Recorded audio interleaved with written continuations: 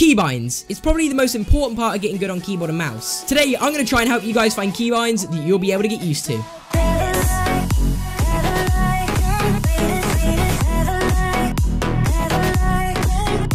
Alright guys, so a few things I want to quickly mention is that everybody is different. So you need to find keyboard settings that are going to be able to suit you. And well, hopefully this video does help out with that. And if it does, make sure you guys subscribe, like, turn on post notifications. And if this video gets a thousand likes, I will bring out a week three progression video moving from controller to keyboard and mouse. And I will also make a video telling you guys why I switched to keyboard and mouse and why you guys might want to as well. And also make sure to use my support creator code ImFruity in the Fortnite item shop. Thank you for all the legends that are doing it. It really, really does help out. Alright guys, so let's just get into the actual video and helping you guys find keybinds that you can get good with. So really important part of playing on keyboard and mouse is finding keybinds that are comfortable. You're going to want to find something that is quite close to your moving keys, which is obviously WASD, because the last thing you want to be doing is stretching all the way to the other side of your keyboard just to press a button. And also a quick little tip, if you are an elite gamer like myself, then you might have buttons on the side of your mouse that will help out, you know, switching to keyboard and mouse. If you do have buttons on the side of your mouse, try them out and try and take advantage of them because they can be very, very useful and be easy for a beginner moving to keyboard and mouse. Alright guys, so let's get into the main things you want to focus on when obviously playing Fortnite. That is building,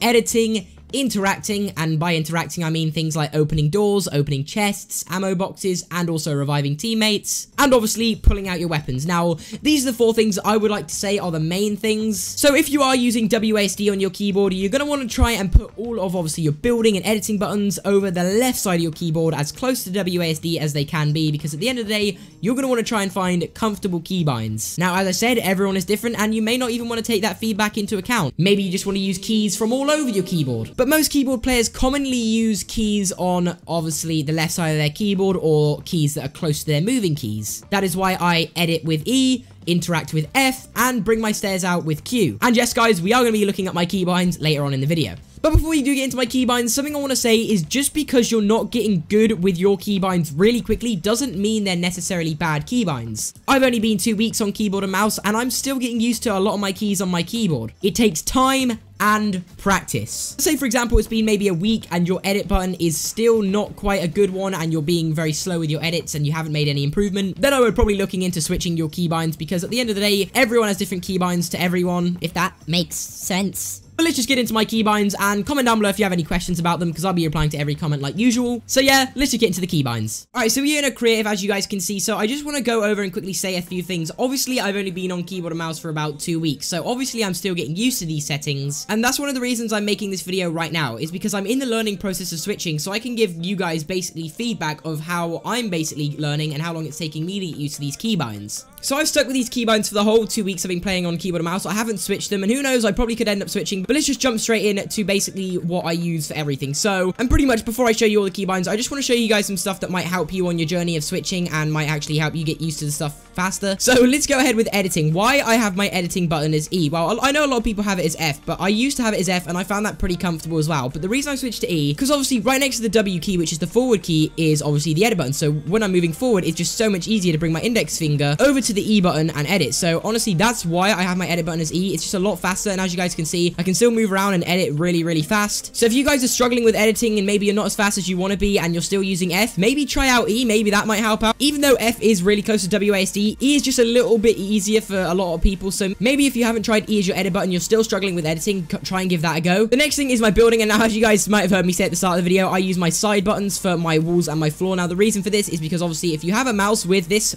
take advantage of it. If you find it comfy, just go for it. Go and use the buttons on the side. They're there for a reason, and they're much, much easier in my opinion than using keys on the keyboard because, I don't know, as a beginner, it's just a little bit more useful. And now you may have noticed my stair button is Q. Now, now at the end of the day, I'm trying to put every single thing that I'm going to be using a lot in games, for example, building as close as WASD as possible. Now, Q is obviously really close to WASD, so when I'm building, I can just really keep all my fingers together and just keep a nice, you know, a nice rhythm to it. You know what I'm saying? As I said at the start of the video, the last thing you want to be doing is making your edit button like J or something, so you have to stretch your fingers along the keyboard. You just want to have your fingers in a really relaxed and really comfy position. That's like the number one tip. If you guys are playing on a keybinds which you don't find comfortable even after a lot of practice, I would advise changing. Honestly, like that's the number one thing you want to do. Make your keybinds as comfortable as possible. You don't want to be stretching your hand. You, you don't want to be putting too much effort in all of your hand movement. You just kind of want to keep it really compact and as easy as possible. Now, saying that, some of you guys may be different. Some of you guys may like stretching your fingers across your keyboard. I don't know. Everyone is different. Now, you guys may have actually seen my building key is C, or my pulling out my building key. As you guys can see, if I click C, it will switch between my building mode and obviously my pickaxe and stuff like that. So, the reason I have it on C is because obviously I can use my thumb, which is really, really close to everything. Again, I'm trying to go for the most comfy position for my fingers,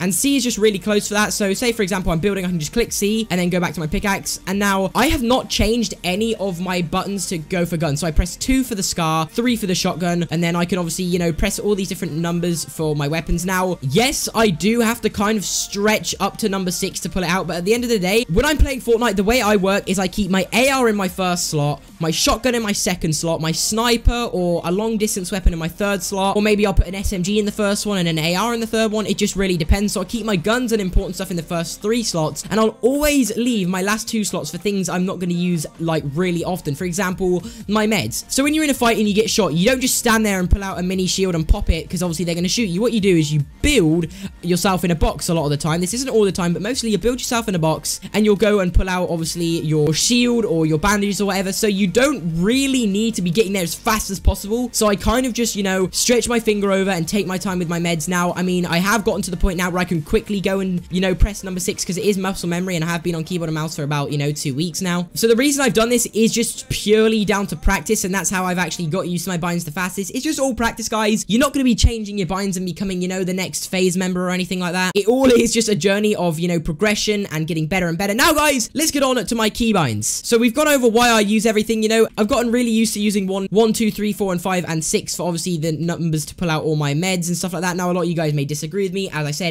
everyone's different. Alright, guys, so let's get into my binds. So obviously I have WASD for moving. Um, I have my jump spacebar. My sprint is not bound. Now we'll get into this in just a second. My crouch is left control. Obviously my aim and shoot is obviously my left and right click. My reload is R. My use is F. Now it did used to be E, but I swapped my edit and use button around. So I think F for using stuff did get a little while to get used to, and I'm still kind of getting used to it, I guess you could say, but I'm getting a lot better at it. So as we just literally went over, guys, these are my buttons for obviously pulling out weapons, and my pickaxe and stuff like that. As we went over, you know, it's two for my weapons, three and four for my weapons, and then five and six my meds. That's what I do personally, and that's what I've gotten used to. And then my my wall is obviously the buttons on the side of my mouse. Now I'll actually show you what my key, what my mouse actually looks like, and how I actually do this. There's two buttons on the side of my mouse, and obviously they're the ones I press for my wall and my floor. Then my Q is my stairs. As I said earlier, trying to keep everything as compact and close as possible to make it as comfy as possible. My roof is left shift, which another thing I want to say, I'm still not completely used to that. As I said, I am obviously in my second week of progression from keyboard to keyboard and mouse. So this is something I'm still getting used to. Obviously, I'm still getting, you know, better at keyboard mouse as the days goes on. So hopefully I'll get better at this sometime.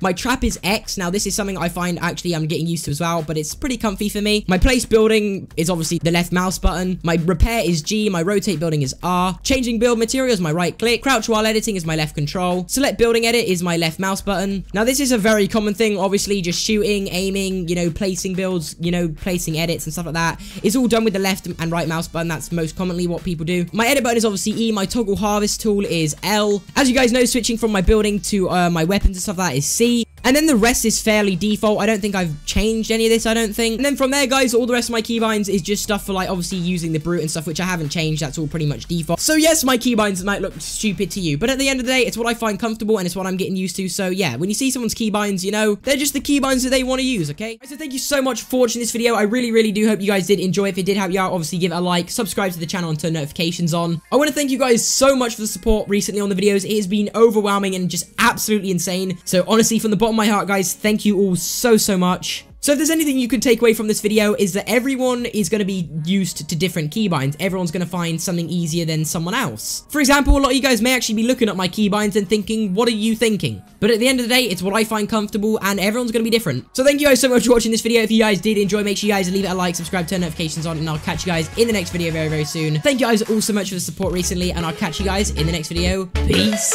out.